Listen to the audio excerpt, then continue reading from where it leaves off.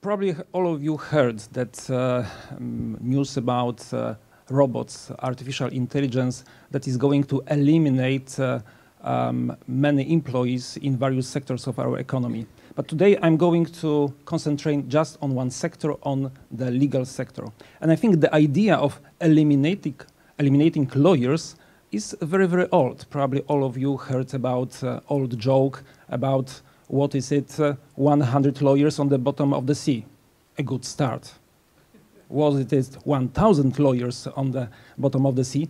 A damn good, good start. So people do not like lawyers. So if they see a possibility of eliminating them, I think they find this idea very, very attractive. So um, this, uh, this uh, problem uh, attracts a lot of attention, not only of just people who um, must contact lawyers, must contact uh, uh, justice, uh, but also it's, it's, it's very important for lawyers. And um, especially, um, I think, starting from the last year, uh, we see a lot of, a lot of um, um, interest in the press and a, lot of uh, headlines uh, that uh, announce, well, the end of lawyers. We see law firms of the future will be filled with robot lawyers, so no human beings as lawyers. And uh, JP Morgan will not use uh, lawyers because it has software and there will be robot lawyers helping people who cannot be represented now by um, pro legal professionals. And we see even headline wars. So we have one headline saying that uh, lawyers could be the next profession to be replaced by computers. And a few weeks uh, later, we see another headline saying, no, it's not completely true, maybe in the future. So you see there is a lot of hype and a, a lot of, well, interest but I think it's very important to understand what does it mean, in fact, um, the artificial intelligence. The problem I think that we must uh, be aware of is now, in 2017, we don't have a real uh, artificial intelligence. We are using this term, but we are not talking about the real uh, artificial intelligence, because artificial intelligence um, it is an intelligence that might be compared to the intelligence of a human being. But we don't have any example of a software or any other machine that might be comparable to, to a human being. It cannot be as skillful and as flexible as, uh, as we are. So, for example, we have, of course, brilliant examples of um, artificial um, intelligence um, which is focused on a very, very narrow uses. So for example, we have autonomous cars, which are very good at driving at, uh, at on our streets. We have the examples of software that can defeat uh, even the best uh, human player in Go. 20 years ago, the same happened to the chess players. But these uh, tools, this software, is not as flexible as a human being because I cannot play as good uh, in Go as uh, this, uh, this software that was developed by Google, but I can immediately after, well, being defeated in, in, in, in Go, I can start to write a legal opinion, I can start an argument, oral argument with someone, so I am quite versatile.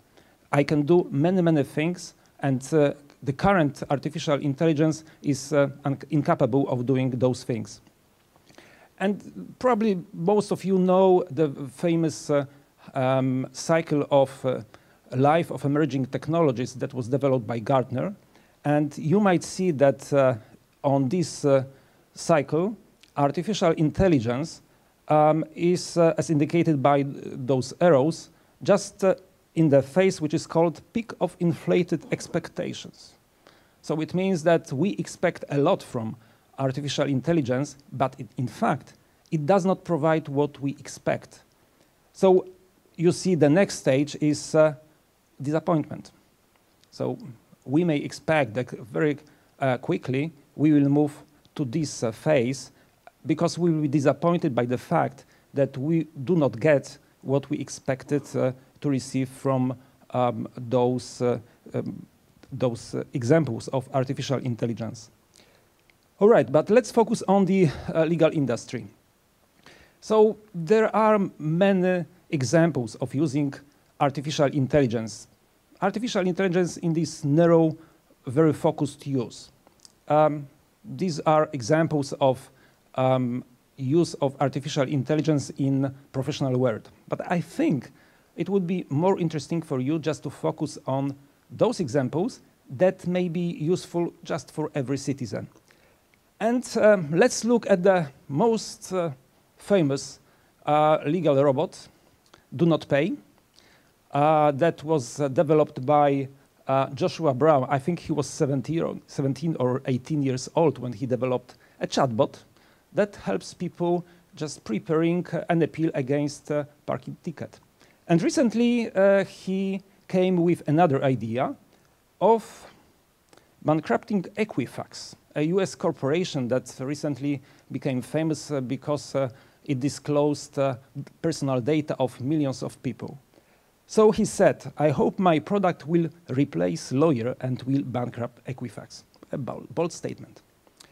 So this idea got a lot of attention in the world, in the media, but I think not, uh, I think there are very few people that really tested this product. So I am very curious. I try to test, I like to test uh, things myself, so I did it.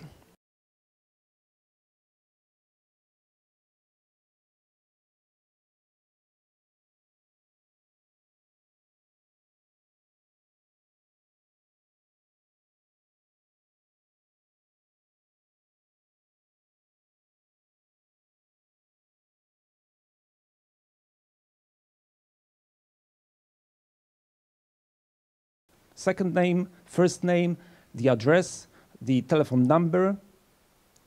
And finally, uh, you have a link to the PDF file. Okay, I was surprised that it's so easy. Okay, so that's the result of the work of the, the most famous legal robot. So it's a simple form that uh, is filled with the data that uh, uh the chatbot collected and nothing else. So that's the only result of, uh, of the work of this robot. Um, on the bottom, you see uh, another example. This is in California, where some, well, two sentences were added with justification of, of the claim that Equifax was negligent in allowing my data to be breached. Nothing else. So, is it really automate? Is it really a robot? Is it really an artificial intelligence? No, definitely no. The answer is very, very simple. Can such simple automation remove lawyers? No, no, definitely no. So, um, but why this idea attracted so many attention? Why so many people are talking about it?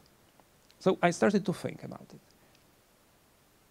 I, and I think the answer is that this tool make people feel that they can do something. There are many tools that are provided um, for people um, to do the justice themselves. So um, there are various forms, various procedures, but in fact, people are afraid of using them. So this chatbot just give them, um, well, they, they give them, well, a strength, a power to try uh, to face the justice themselves. And this idea may be, very, of course, used uh, to produce more complex uh, works. So I use the example of a chatbot that I have myself developed. So this is even more complicated expert system um, to explain GS media case, which is very famous for any copyright lawyer.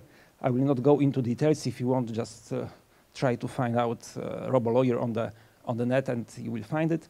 So this is a very simple chatbot that uh, ask you, asks you a questions, and then you answer by saying uh, yes, no, not sure, and then it, it conducts you through the algorithm. Because in fact, this chat, chatbot is uh, based on an algorithm, so you answer various questions and you are led to the conclusion whether placing a link on your website may infringe uh, copyrights of someone else or not. So it's, it's very, very simple. And it uh, took me about, uh, well, six hours to produce such a very easy chatbot. So I imagined that Do Not Pay could be designed just maybe in one or two hours. So can we expect legal robots to take over the world? I don't know, but I'm sure uh, that it's possible that um, now we overestimate the uh, robots and artificial intelligence, uh, but it may happen that in the long run, um, such artificial intelligence may really create a threat uh, for us. So I'm here at uh, the, the, conclusion at the last slide. So I think the technology now just started to change the way we are providing legal services. I think that clients still want, want lawyers, uh, but not for all services. And I think lawyers might, might be the best developers of legal tools. So um, I think that the future is with us, and I think we should use uh, this fact, but uh, uh, by shaping the future for us. So that's the appeal, um, my appeal for uh, lawyers, but also for all people that might use the services of lawyers. Thank you.